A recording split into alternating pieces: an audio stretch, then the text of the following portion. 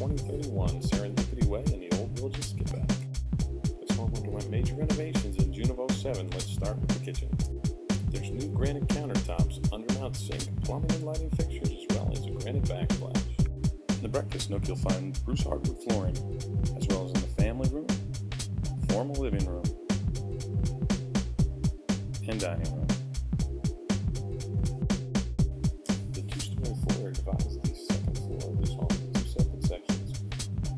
Suite includes a large soaking tub, granite vanities, tile flooring, and large naturally lit windows.